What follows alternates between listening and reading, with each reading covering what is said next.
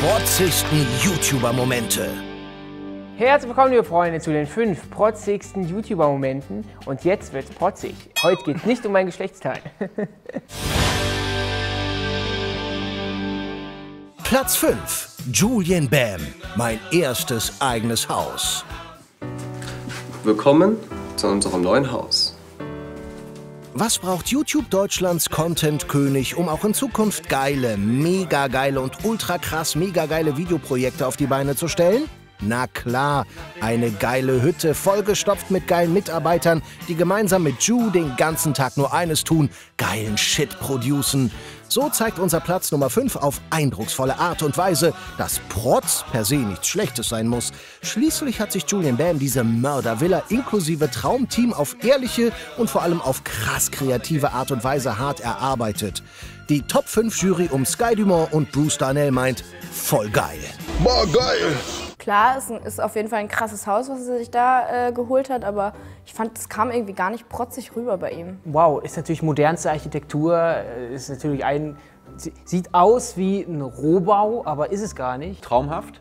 Äh, wurde damals auch mit gerechtfertigt, dass äh, da natürlich sein ganzes Team drin wohnt. Ich habe zuletzt gehört, ohne das auch nur ansatzweise glauben zu wollen, bedingungslos, dass eigentlich noch weitere 80 Quadratmeter Maisonette-Wohnungen im Umkreis angemietet wurden für das eigentliche Team und da tatsächlich nur gedreht wird. Ich fand es schon echt krank, als er das gemacht hat, weil ich dachte mir, okay, jetzt geht's nochmal richtig für ihn los. Also da merkt man richtig, er wird jetzt nochmal richtig Gas geben alles wird sich verändern, die Qualität geht hoch und so. Der Drew ist ja einer, dem gönnt man sowas. Ja. Allerdings äh, glaube ich, dass bei seiner Art, wie er Steuern berechnet, äh, genügend Geld übrig geblieben Das, ist, das, um ja, das war der, das das zu erste. Mal, wo ich mich wirklich so ein bisschen über ihn aufgeregt habe. Naja, klasse, Julian Bam.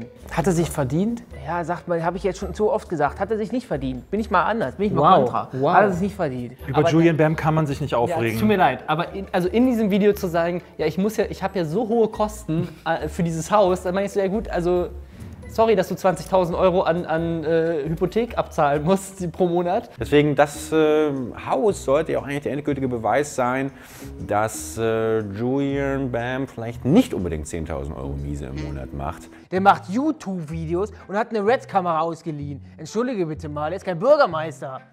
Und du kannst auch mal die Nägel, kannst auch mal sauber machen, ne? das ist direkt drunter. So, ist Ansagen genug? Ja. Und du hast vor der ganzen Bräunungscreme ganz orangen Bart. Du auch, aber es ist egal. Platz 4. Revinzeit. Fliegen in der besten Business Class der Welt. Ich glaube, das ist die beste Business Class der Welt. Da hat sich jemand nicht lumpen lassen. Aber ich sage euch trotzdem noch nicht, wo wir hinfliegen. YouTube-Fans wissen, Let's Play-Legende Revinzeit lässt verlässlich oft einen fliegen. Dass er sich aber auch gern mal in einem meist nicht ganz so faulig riechenden Fluggerät bequem macht, zeigte Revi in einem eindrucksvollen Reisevlog, bei dem er mehrere tausend Meter über dem Boden schaumige Süppchen schnabulierte und das elegante Ambiente genoss. Kann man mal machen, Revi. Aber nimm beim nächsten Mal doch bitte auf eigene Kosten Jody mit, du geizige Sau. Warum stellt er das so, als ob es so eine Sensation ist da? Ja, und hier könnt ihr euer Stecker reinstecken, wo ihr eure Akkus lädt. Nur in der Business Class, Bro. Finde ich jetzt eigentlich gar nicht so schlimm, dass er das gemacht hat. Also was ich jetzt gesehen habe, war auch gar nicht so protzig, wie er es erzählt hat. Er hat einfach nur erklärt, äh, was es da so gibt. Also ich muss sagen, ich bin schwer enttäuscht. Also habt ihr, habt ihr schon mal ein Casey Neistat Video gesehen? Ich der fliegt. Also der fliegt noch Business Class. Bitte, flieg mal Emirates First oder sowas. Also Business Class. Was für ein Loser. Er war auf jeden Fall nicht dazu verpflichtet, da aus dem ähm, Flugzeug ein Video zu drehen, hat es aber gemacht, weil man möchte natürlich auch zeigen, was man hat. Als wir 2016 nach Las Vegas geflogen sind. Apropos, man möchte ja zeigen, was man hat, deswegen gehe ich seit Jahren zum FKK-Strand. Ich finde es immer so ein bisschen schwierig. Das ist ja dieses Problem bei den Neureichen. Leute, die äh, zu einer Menge Geld kommen, haben natürlich auch mal so dieses Bedürfnis, dann anderen Leuten das auch möglichst aufs Auge zu drücken. Will Revi überhaupt nichts äh, unterstellen. Wir sind ja wirklich gute Freunde und äh, spielen auch einmal die Woche Tennis. Aber ich selber würde halt niemals irgendwie das so. Also ich finde, das hat was. Hat irgendwie zerstört das so die Mut. Also, als wir 2016 nach Las Vegas geflogen sind und ein Jahr davor nach Dubai, war auch immer Business Class am Start, denn ich möchte meine Füße, meine kleinen, meine kleinen Wurzelfüße natürlich auch ausbreiten können. Und ähm, das muss sein. Finde ich total gut vom Revi. Würde ich auch alles genauso zeigen. Aber es ist auch Also schön, wirklich. wenn du, wenn du die Videos von So Casey. Neistat äh, siehst und äh, das vergleichst mit Revi Insight, das sind so irgendwie, als würden zwei auf unterschiedlichen Seiten des Wassergrabens stehen und so rüberrufen, Niveau! Und bei Revi Insight kommt dann nur noch Oh an. Ich finde es halt einfach, ich finde es uncool. Das ist das richtige Wort. Ich finde es wahnsinnig uncool. Ich fand es bei Casey Neistat aber auch schon unfassbar uncool. Nee, aber äh, finde ich, finde ich äh, ein bisschen cool, aber auch irgendwie okay, man kann es jetzt, man muss sich ja nicht übertreiben und übelst filmen und so. Platz 3. ApoRed. Ich zeige euch meine 8000 Euro Jeezy-Sammlung. Das ist jetzt einer von den dreien, der vor kurzem released worden ist. Und zwar ist er in drei Farben released worden. Das ApoRed über mehr hässliche Turnschuhe als funktionierende Gehirnzellen verfügt, dürfte mittlerweile hinlänglich bekannt sein. Trotzdem ist es immer wieder schön, wenn Apo seinen Schuhschrank öffnet und seinen treuen Fans stolz seine teuersten Treter präsentiert. Leider gilt für Jeezys dasselbe wie für Tatjana Gsels Gesicht. Nur weil es viel gekostet hat, muss es nicht gleich geil aussehen. Ich kann mir den Typen nicht angucken. Das ist so ein widerlinges Fall. Darf, darf man das sagen? Ich finde das sehr metrosexuell. Ist das, ist darf das, man ist das so politisch, ist metrosexuell das politisch kein- korrekt? Ja, das Ja, darf man durchaus okay. sagen. Finde ich jetzt eigentlich gar nicht so schlimm, dass er das gemacht hat. Also was ich jetzt gesehen habe, war auch gar nicht so protzig, wie er es erzählt hat. Er hat einfach nur erklärt, äh, was es da so gibt. Ich glaube, das Leben muss sehr schön sein, wenn man so schnell zufriedengestellt werden kann durch irgendwelche Schuhe im Chocolate-Maracuja-Ton. Ich muss ja ganz ehrlich sagen, und das meine ich auch wirklich jetzt nur objektiv gesagt, Ja. ich finde, ich habe, es gibt auch dieses Bild, wo er alle seine Schuhe zeigt auf einem Bild. Das sind genau die, die ich persönlich niemals kaufen würde. Das sind so rote Lackschuhe, dann hast du irgendwas noch mit Tigermuster, dann hast du irgendwelche in so einem Schokobraun. Das ist gar nicht mein Style. Das waren die einzigen Videos, wo ich wirklich reingeguckt habe, richtig? Ich finde die gar nicht so schlimm, Yeezys. Aber ich würde mir trotzdem keine kaufen. Das ist für Schuhe, gebe ich keine 1000 Euro aus. Früher gab es ja dieses Ding, dieses Klischee, dass man gesagt hat, jemand, der seine Autos immer so vorführen muss oder generell mit seinen Statuswerten prahlen muss, der hat einen wahnsinnig kleinen Penis. Ja, und bei ApoRed möchte ich jetzt mich nicht zu weit aus dem Fenster äh, halten, äh, lehnen, aber da scheint ordentlich was zu fehlen in der Hose, wenn man so viele Schuhe in die, in die Kamera halten muss. Ich habe früher auch angefangen zu sammeln, ein paar Sachen, sei es Lego oder äh, Leichen, und habe irgendwann dann gelesen, dass ähm, Leute, die sammeln, Lücken in ihrer Persönlichkeit versuchen zu, zu stopfen. Manchmal ist auch zu viel, wie er die ganzen Sachen kauft und so. Also manchmal, irgendwann denkt man so, okay, er ist so übel fixiert so drauf, so jeden Shit zu holen. Dann kann sie aber auch geil erklären irgendwie. Also es ist so, so ein Negativen im Positiven, ich weiß nicht. Platz 2. Bibi und Julian. Unterwassersuite in Dubai. Und das Atlantis Hotel hat uns ermöglicht, eine Nacht in der Unterwassersuite zu schlafen. Wir sind uns alle einig. Finanziell werden Bibi und Julian niemals baden gehen. Dafür sind sie A zu klug und B zu reich. Tschüss.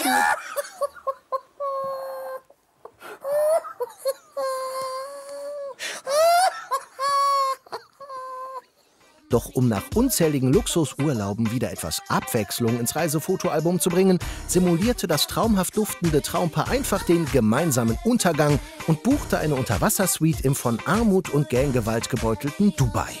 Ich hätte ja gern mal Hering gespielt, als sich Bibi und Julian liebestrunken in die seidigen Laken haben fallen lassen.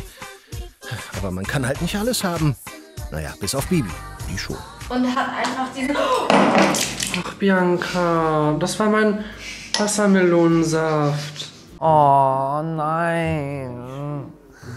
Der Wassermelonsaft, Bianca. Und das waren meine Gehirnzellen, die gerade explodiert sind. Das war klasse. Die waren im gleichen Hotel, wie wir damals waren. Nee, doch. Atlantis. Ja, toller, toller Ausblick. Also ich bin allgemein grundsätzlich so ein Freund von äh, Wohnungen oder Immobilien, mh, die mir den Eindruck vermitteln, ich bin komplett von der Außenwelt abgeschnitten. Und wenn du natürlich drumherum irgendwie nur Wasser hast, ich glaube, ich würde mich sehr, sehr wohl fühlen. Ich will nicht wissen, was diese Fische alles für Sachen gesehen haben, ehrlich gesagt. Ich schwör's dir, Leute, ich habe nicht ein Video von Bibi und Julian geguckt. Nicht einmal von Anfang bis zum Ende. Ich konnte es einfach nicht. Ab 20 Sekunden ging es nicht mehr bei mir. Ich glaube, ich habe irgendeinen Defekt bekommen. Ich so. Meine Mutter kam rein, erstmal Anfall. Dieses Video vereint wieder all die Qualitätsmerkmale, die Videos von Julienko und Bibi so haben. Schlechte Ausleuchtung, mieser Ton und zwei Volltrottel, die da rumstehen und blöde Scheiße erzählen. Es sind, ist halt Bibi, ja, weiß nicht. Aber ich finde es nicht so schlimm. Also, tolle Suite, tolles Hotel. Weiß ich aus eigener Erfahrung. Bin ja damals. Äh, Ist meine lass Wahl, mich nicht lügen. Dubai ist natürlich unsere Wahlheimat. 2013, 2014 rüber jettet. Zu 15. Äh, zu Ja. 15 rüber jettet Ist und hatte ein Wahlheimat. unvergessliches Wochenende. Ganz toll, hat einen Job, habe vor 800 Leuten gesprochen. Aber ich glaube, dass Julian zum Beispiel, der immer so ein bisschen im Schatten dieser starken Bibi steht, und das ist ja kein Geheimnis, dass es immer so ein bisschen schwierig für den Mann, glaube ich, ist, so im Schatten zu stehen, dass der dann bei dem Geschlechtsverkehr in dieser, Bana äh, in dieser Banane, in diesem Whirlpool meine ich natürlich, eventuell auch im Zusammenspiel mit der einen oder anderen Banane, äh, Bibi so richtig schön wissen lässt, hey, ähm, ich bin auch noch da. Das Hotel hat sie doch bestimmt da kostenlos wohnen lassen, oder? Eine gute Frage. Also ich habe schon von Influencern gehört, die Reiseunternehmen anschreiben und dann sagen, hey, könnt ihr mir die Reise nicht mal zu 50 Prozent äh, sponsern? Äh, und sind ja auch genügend auch schon nach Afrika oder so geflogen, aber äh, ja, gute Frage, ich weiß es nicht. Also lieber Hotelanbieter, äh, ich würde auch gerne mal hin. Platz 1. Simon Desue. Meine neue Wohnung in Miami. Es ist kein Geheimnis, dass das extrovertierte YouTube-Urgestein gern mal die Fuffis durch den Club fliegen und es sich hauptberuflich unglaublich gern unglaublich gut gehen lässt. Doch Simon Desues Hammerhütte in Miami markierte einen völlig neuen Höhepunkt auf dem prall gefüllten Protzkonto des Assi-Content-Entertainers. Was ne Bude! Mann! Na toll! Und ich wohne noch immer bei Mama im Keller. Kommst du jetzt bitte zum Essen? Was? Ich komme ja gleich zum Essen. Ich muss das nur, ich muss das nur kurz fertig sprechen. Solange du deine Füße unter meinen Tisch steckst. es gibt Krautrouladen. Ach, wäre ich doch Simon Desue.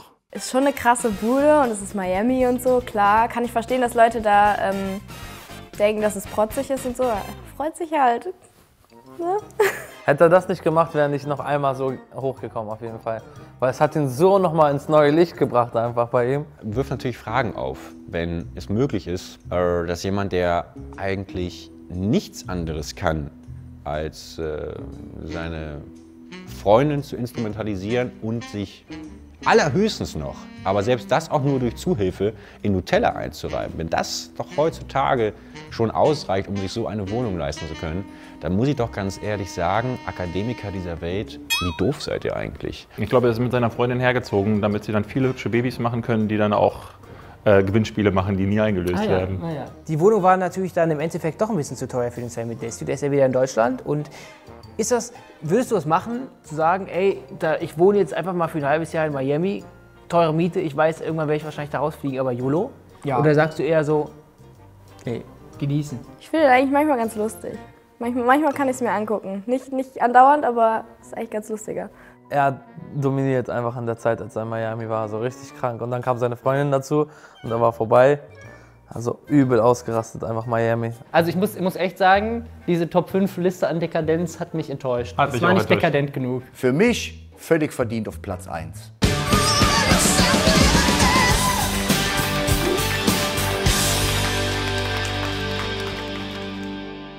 Das waren die fünf protzigsten YouTuber-Momente. Da bin ich ja, da werde ich so gelb wie Bennys Zähne vor Neid. Also wirklich, da schreibt mir in die Kommentare, was fehlt euch noch? Diese Beleidigungen sollen jetzt Ja, mag die was Community fehlt- gar nicht. Doch, das mögen die Leute. Ja.